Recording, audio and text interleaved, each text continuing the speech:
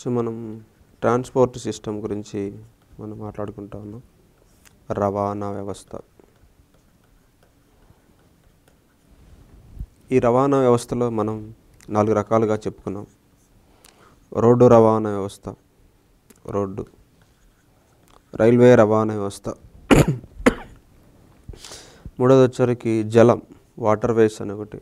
నాలుగోది వచ్చరికి Airways Airways వాయు రవాణా అని చెప్పేసి నాలుగు రకాలైనటువంటి ట్రాన్స్పోర్ట్ సిస్టమ్ గురించి మనం చెప్పుకుంటూ వస్తూ ఉన్నాం.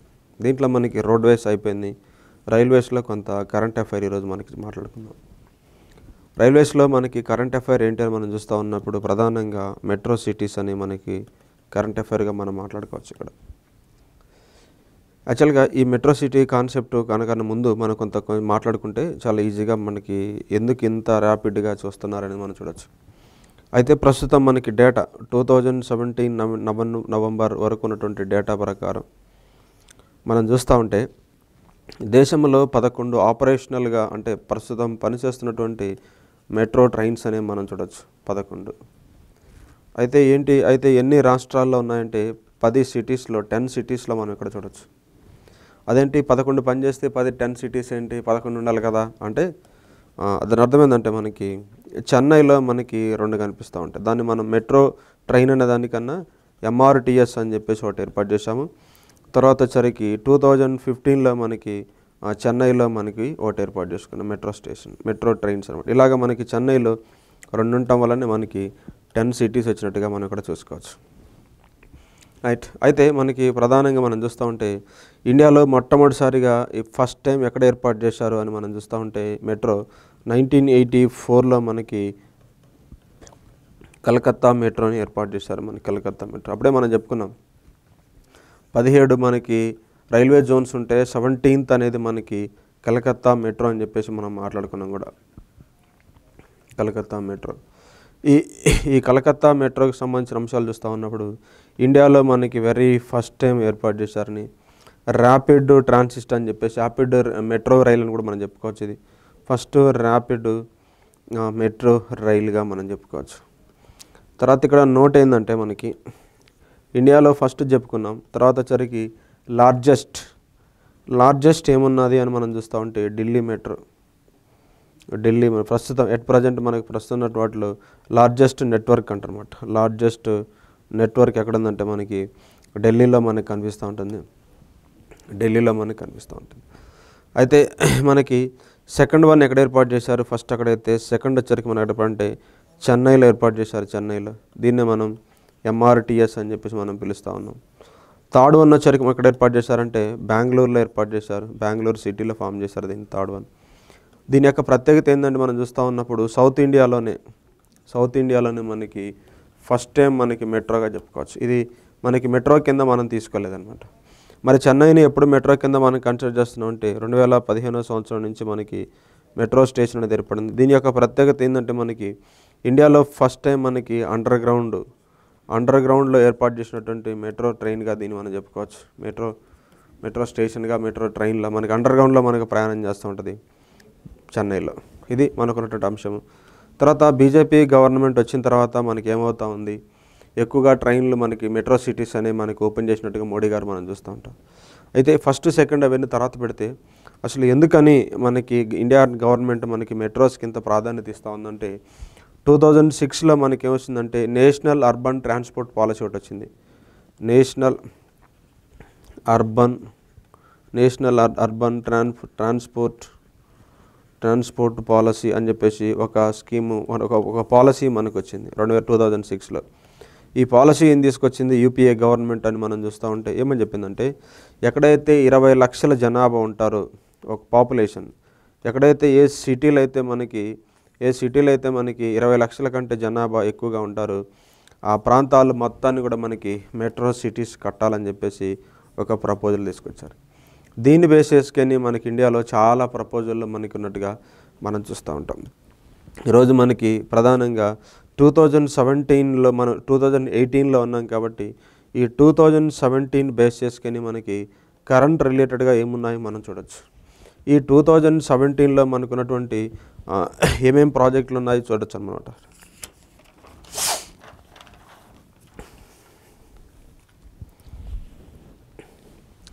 టూ థౌజండ్ సెవెంటీన్లో మనం చూస్తూ ఉన్నప్పుడు జూన్లో మనకి ఒకటి ఏర్పాటు చేశారు. తర్వాత వచ్చరికి సెప్టెంబర్లో ఒకటి ఏర్పాటు చేసుకున్నాము. తర్వాత నవంబర్లో ఒకటి ఏర్పాటు చేసుకున్నాము. తర్వాత డిసెంబర్లో ఒకటి ఏర్పాటు చేసుకున్నాము. దాదాపు మనకి ఐదు మెట్రో రైల్వేస్ని మనం ఓపెనర్ చేసుకున్నట్టుగా చూడొచ్చు అనమాట ఏంటి ఇక్కడ మనం చూస్తూ ఉంటే జూన్లో ఏర్పాటు చేసింది మనకి కోచిగా మనం పిలుస్తూ ఉంటాం కోచి. తర్వాత లక్నోలో ఏర్పాటు చేశారు. ఇది వచ్చరికి హైదరాబాద్ మెట్రో ఇది వచ్చరికి నోయిడా నోయిడా ఉత్తరప్రదేశ్లోని నోయిడా ఢిల్లీ ప్రాంతాల మధ్య. అయితే ఇది పాతది అంటే ఎప్పుడో ఏర్పాటు చేశారు. ఢిల్లీలో మన లార్జెస్ట్ నెట్వర్క్ అని చెప్పి చెప్పుకున్నాం. సెకండ్ మనకి ఢిల్లీనే చెప్పుకున్నాం. అయితే దీంట్లో మనం చూస్తూ ఉంటే ఇండియాలో దీని యొక్క ప్రత్యేక ఇక్కడ ఏంటంటే థర్డ్ లైన్ అని చెప్పేసి మనం చెప్పుకుంటాం. థర్డ్ ఫేజ్ అంటారు అనమాట ఆల్రెడీ ఢిల్లీలో ఉంది ఎప్పటి నుంచో. కన్స్ట్రక్షన్ నిమిత్తం రీసెంట్గా కంప్లీట్ అయిపోయింది కాబట్టి ఈ డిసెంబర్లో మనకి మనకి ఆల్రెడీ ఇది మనకి ఒక మెట్రో సపరేట్ స్టేషన్గా లేకుంటే మెట్రో ట్రైన్గా మనం తీసుకున్నాం. థర్డ్ ఫేజ్లో మనం దీన్ని మనకి ఆపరేషన్ అనేది స్టార్ట్ చేసాం. వర్క్ అనేది అంటే మనకి ట్రైన్ అనేది రన్నింగ్ అనేది ఎక్కడి నుంచో మనం స్టార్ట్ చేసుకున్నాం. థర్డ్ది ఆల్రెడీ ఫస్ట్ సెకండ్ ఉంది కాబట్టి దీన్ని ఫస్ట్ దానిగా మనం కన్సిడర్ చేయడానికి అవకాశం లేనే లేదు. సో ఇంకా మనకి హైదరాబాద్ వచ్చరికి మనకి ఏంటంటే మనకి ఇండియాలోనే ఇండియాలోనే బిగ్గెస్ట్ మనకి పబ్లిక్ ప్రైవేట్ పార్ట్నర్షిప్ ఇండియాలోనే మనకి పబ్లిక్ ప్రైవేట్ పార్ట్నర్షిప్లో మనకి ఏర్పాటు చేసింది మనం చెప్పుకోవచ్చు. కోచీలో వచ్చరికి మనం చూస్తూ ఉంటే ఫాస్టెస్ట్గా మనకి కంప్లీట్ అయిందిగా మనం చెప్పుకోవచ్చు. ఇండియాలోనే ఫాస్టెస్ట్ చాలా త్వరగా కంప్లీట్ అయినటువంటి మెట్రో స్టేషన్గా మనకి కోచిని చెప్పుకోవచ్చు. మెట్రో కోచి మెట్రో అనేది మనకి రెండు వేల పదిహేడు జూన్లో చాలా వేగంగా పనిచే కంప్లీట్ అయిందిగా మనం దీన్ని చెప్పుకోవచ్చు. సో ఇలాగా మనం చూస్తూ ఉన్నప్పుడు ఇండియా గురించి హైదరాబాద్ మెట్రో హైదరాబాద్ మెట్రో గురించి మనం కొన్ని అంశాలు చూద్దాం. హైదరాబాద్ మెట్రో. సో మనకి హైదరాబాద్లో తెలంగాణ రాష్ట్రంలో మనకి ఆడటానికి అవకాశం ఉన్న అంశం కాబట్టి దీని ఒకసారి చూద్దాం. దీంట్లో మనం చూస్తూ ఉంటే హైదరాబాద్ మెట్రోలో మనం చూస్తూ ఉంటే ఇది ఓల్డ్లోనే ఇండియాలోనే కాదు ఓల్డ్లోనే పబ్లిక్ ప్రైవేట్ పార్ట్నర్షిప్లో ఏర్పాటు చేసినటువంటి వెరీ ఫస్ట్ టైంగా మనం చెప్పుకోవచ్చు. ఇండియాలోనే ఇండియాలో మనం పబ్లిక్ ప్రైవేట్ పార్ట్నర్షిప్లు ఏర్పాటు చేసినటువంటి అతి పెద్దదిగా చెప్పుకోవచ్చు. ఎంత అంటే దాదాపు మనకి డెబ్బై రెండు కిలోమీటర్లు పొడవైందిగా మనం చెప్పుకోవచ్చు. ఓల్డ్లోనే ఇది కనుక అంత ఫస్ట్ ఫేజ్ మాత్రమే మనకి ఇనాగరల్ జరిగింది. ఇంకా రెండు ఫేజ్లు ఉన్నట్టుగా మనం చూస్తూ ఉంటాం. అయితే ఇంకా దీంట్లో మనం చూస్తూ ఉంటే ఇంకా మనం చూస్తే ఓల్డ్లోనే ఓల్డ్లోనే మనకి ఎత్తైన మెట్రోగా కూడా దీన్ని మనం చెప్పుకోవచ్చు. ఓల్డ్లోనే ఎత్తైనటువంటి మెట్రోగా చెప్పుకోవచ్చు. ఇంకోటి ఏంటంటే ఇక్కడ సింగిల్ పిల్లర్ సింగిల్ పిల్లర్ ద్వారా మనకి ట్రైన్ ట్రాక్ వేసినట్టుగా మనం చూస్తే ఇలా పిల్లర్ మనకు కనిపిస్తూ ఉంటే సింగిల్ పిల్లర్ మీదనే మనకి ట్రాక్ వేసినట్టుగా మనం చూస్తాం. డబల్ పిల్లర్ కాకుండా సింగిల్ పిల్లర్ మీదనే మనకి ఈ మెట్రో ట్రాక్ అనేది వేసినట్టుగా మనం ఇక్కడ చూడొచ్చు.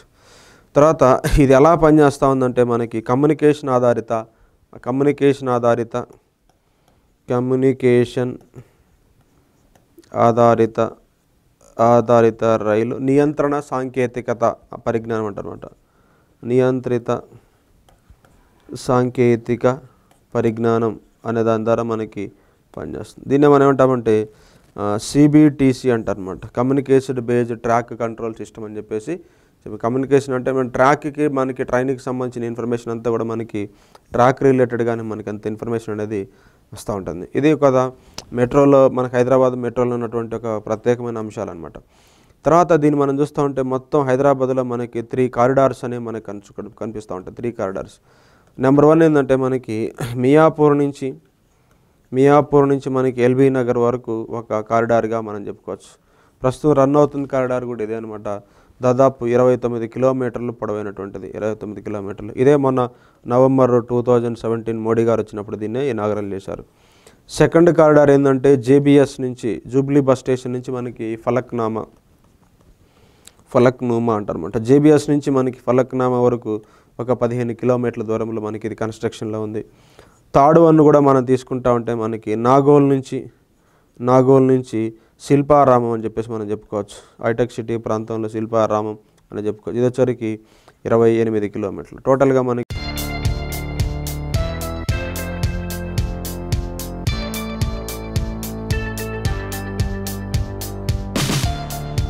మనకి దాదాపు మనకి డెబ్బై రెండు డెబ్బై రెండుగా మనం చెప్పుకోవచ్చు. ఇరవై తొమ్మిది పదిహేను ఇరవై ఎనిమిది దాదాపు మనకి